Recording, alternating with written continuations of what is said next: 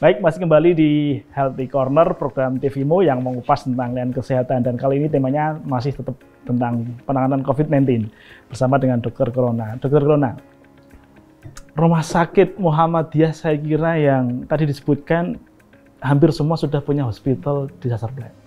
Ya. Karena MDMC saya kira mengawali untuk membuat rumah sakit aman bencana. Ya. Dalam konteks ini, lalu bagaimana kemudian mengaplikasikan hospital disaster plan yang telah dimiliki Rumah Sakit Muhammadiyah sehingga ketika kemudian harus berhadapan dengan virus corona atau wabah atau pandemik atau pagebluk ini itu kemudian bisa dilakukan dengan baik oleh masing-masing rumah sakit Muhammadiyah. Ya, artinya memang ini kita aktifkan ya, istilahnya. Aktifkan uh, sistem ICS mungkin di masing-masing rumah sakit hmm. dan biasanya itu kan sudah termasuk di dalam hospital disaster plan. Ya memang tantangannya memang selama ini kita belum hmm. pernah ya. belum pernah berlatih untuk yang ini ya, pandemik biasanya kan ya. hanya kecelakaan massal gempa bumi gempa bumi banjir nah, gitu ya. ya korban massal yang memang ha, tidak harus pakai APD ya. kemudian tidak harus masuk ruang isolasi nah ini hmm. uh, saya kira ini pembelajaran baik baru, yang ya.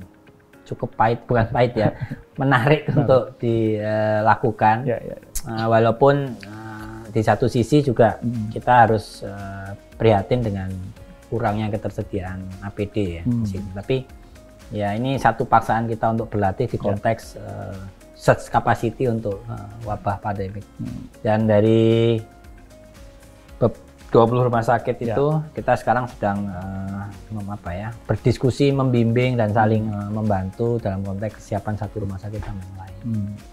Ya. ya. Kalau kita hitung kemudian uh, search capacity masing-masing rumah sakit. Nah, ambillah dibuat standar begitu. Sejauh ini antara kebutuhan dan ketersediaan search capacity yang dimiliki, apakah sudah mencukupi? Ya, masih kurang.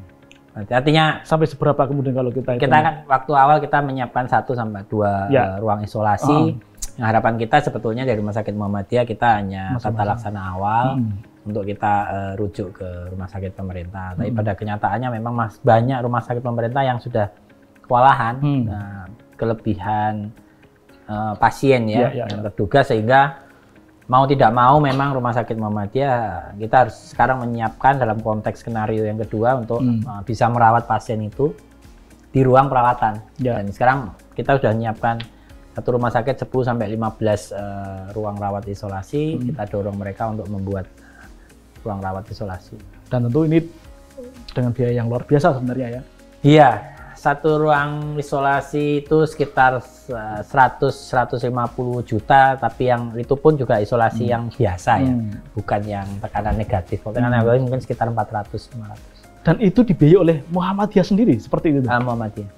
Tanpa ada bantuan dari pemerintah? Belum ada. Belum ada sampai sekarang. Jadi kalau kita hitung kemudian sebenarnya berapa besar sumbangan Muhammadiyah untuk mendukung pemerintah? iya kami belum sempat menghitung sih sampai akhirnya kita ini masih fokus pada yeah, yeah. kesiapan itu. Tapi yeah. perhitungannya satu ruang isolasi yang yeah. biasa itu sekitar Dengan 100 100 tadi ya. Ambil contoh kalau 20 ya 20 rumah Kali... sakit, satu rumah sakit kita siapkan uh, 10 sampai 15 berarti kan 200 sampai 300 hmm. ya. 300 dikalikan 100 juta. Yeah. Itu masih prasarana ya, belum APD-nya ya. Jadi prasarana aja sudah ya, sekian M ya. ya.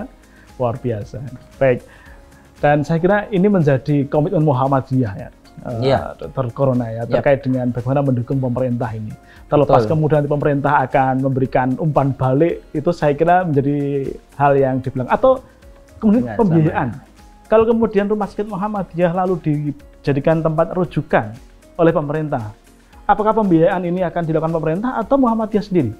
Eh, sampai saat ini belum ada kejelasan. Hmm. Apakah itu nanti ditanggung pemerintah? Ya, ya mengatasi ketersediaan sumber daya Muhammadiyah. Saya kira kalau kemudian kita hitung Maret ini baru awal. Lalu kita berhitung misalnya kemudian ada April, ada Mei, ada Juni.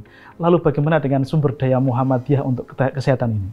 Ah ya, ya Alhamdulillah kita punya banyak aset ya. Hmm. Terutama sekarang kita uh, barusan tadi pagi kita juga uh, berdiskusi dengan Dipti. Hmm. Jadi Nah, karena ini konteksnya bencana, yeah. maka sebentar lagi akan ada penggalangan relawan, mm, okay.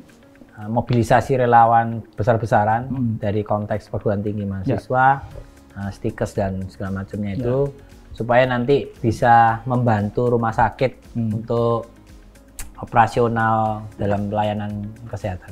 Terkait dengan profesi-profesi tertentu ya? Betul betul. Jadi kan. kita menggalang mulai dari uh, kedokteran, kemudian keperawatan, hmm. kemudian bahkan beberapa banyak juga alumni-alumni yang hmm. sudah lulus tapi belum ya, ya, ya. Uh, punya uh, tempat untuk ya? bekerja ya? itu kita mobilisasi besar-besaran dalam satu dua hari ini ya, ya.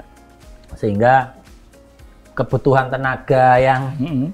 agak lama ya kita ya. perkirakan ini aduh ya semoga nggak ya, nggak lebih dari dua tiga bulan, bulan, dua ya. bulan. Harapannya 29 Mei itu sudah selesai kan. Tahun daruratnya kan sampai 29 ya. Mei. Semoga saat itu sudah selesai. Selesai tidak di apa tidak diperpanjang lagi. Ya, oke. Okay. Baik. Dan tentu kalau kita berbicara mengenai tenaga kan kita akan berbicara mengenai kompetensi ya, ya. Uh, dan juga keabsahan legalitas ya. Betul. Tentu ini menjadi perhatian yang betul serius juga kan Betul. di uh, Dikti ya. dan juga di. Ya, kita memang melakukan advokasi juga nah, terkait karena PD sudah mengeluarkan uh, edaran itu, kemudian dari KKI juga, hmm. PPNI juga. Nah terkait dengan bencana ini memang seharusnya ada kompetensi, hmm. tapi saya kira masih banyak peluang di mana ya. mereka bisa membantu membantu hmm. dalam konteks pelayanan kesehatan walaupun yeah. hanya sekedar tensi atau yeah, apa yeah. itu intinya itu sangat membantu sekali. Yeah, yeah. Atau bahkan ada petugas yang hanya cukup untuk screening, hmm. ada petugas yang bisa kita mobilisasi untuk uh, transporter itu yeah. itu saya kira sehingga tenaga rumah sakit uh, bisa lebih konsen dalam hal tertentu ya. Uh, fokus dalam hal pelayanan pasien, yeah, yeah. tapi tidak. Syukur lagi kalau kemudian dari lawan yang dia memang bis kompeten, Ya, kita utamakan yang secara administratif betul. dia juga legal betul, gitu ya, betul. sehingga dia mampu untuk membantu. Betul. Paling nggak mengurangi beban tenaga SDM di rumah ya. sakit ya. Permasalahannya cuma satu karena ini yang luas. Iya, iya, iya. Ya. Jadi daerah-daerah juga ya. betul. juga mengalami masalah yang sama. Jadi ya. ini yang perlu kita uh, pikirkan bersama. Ya, baik. Terakhir, Dr. Rona. Jadi apa sebenarnya yang harus dilakukan bersama-sama di Muhammadiyah ini? Uh, eh, MCC sudah dibentuk, pedoman sudah dibentuk. Lalu apa yang mesti dilakukan? Kompak, semangat, hmm. tidak panik dan tetap uh, mengikuti arahan dari pimpinan pusat hmm. Muhammadiyah hmm, terkait panduan, terkait jika ada apa-apa atau ada masalah hmm. atau hal yang perlu didiskusikan segera ke telepon ke kami hmm. itu uh, dan nanti akan kita berikan solusi, kita hmm. solusi. Jadi ini memang ini apa ya istilahnya awam hmm. perang semesta ya jadi karena semua iya, negara yeah, yeah, jadi yeah. ini ini perang besar kita jadi saya kira kita harus menyingkirkan semua perbedaan kita harus uh, menyamakan persepsi kita harus bergerak bersama yeah. ya dalam satu komando supaya kita bisa mengalahkan COVID-19 hmm. ya Muhammadiyah tidak hanya ada di Indonesia ya ada PCIM Singapura, PCIM hmm. Kuala Lumpur, ada PCIM Taiwan, dan yang lain. Kira-kira apa yang harus dilakukan mereka yang ada di luar Indonesia? Uh, tetap pantau kondisi di, tentunya mereka juga mungkin punya punya kondisi tertentu ya. di areanya. Koordinasi dengan kami, emang apa yang bisa kita bantu ke teman-teman di PCIM luar hmm. negeri, atau memang kalau memang kondisinya lebih aman, hmm. mungkin teman-teman yang di PCIM luar negeri bisa membantu kami. Ya. Nah, itu harapannya. Jadi ini perang besar-besaran perang besar-besaran ini. Apa? Apa namanya ya? Iya. Ya, kalau istilahnya ya perang semesta. Perang, perang semesta ya. ya. ya. Lawan COVID-19. Lawan COVID-19. Adakah simbol-simbol tentu yang apakah lawan itu yang oh, lawan? Tidak ada ya. Tapi saya kira penting, penting itu ya. Begini. lawan COVID-19. Baik. Pengerahan sumber daya yang luar biasa tentu butuh dana yang besar. Bagaimana kemudian Muhammadiyah melalui MCC itu mencoba menggalang dana? Mau bersama dengan ya. siapa atau bagaimana? Kita menggalang dana tentunya lewat Lazismu. Lewat Lazismu.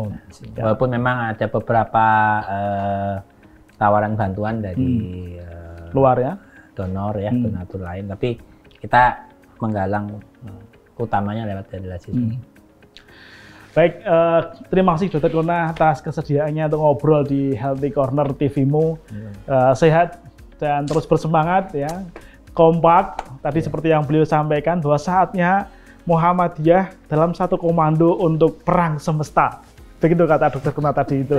ini menutup sekaligus program Healthy Corner di kesempatan kali ini dan senang sekali kita bersama dengan beliau mengupas secara tuntas terkait dengan peran Muhammadiyah di dalam perang semesta melawan COVID-19 ini.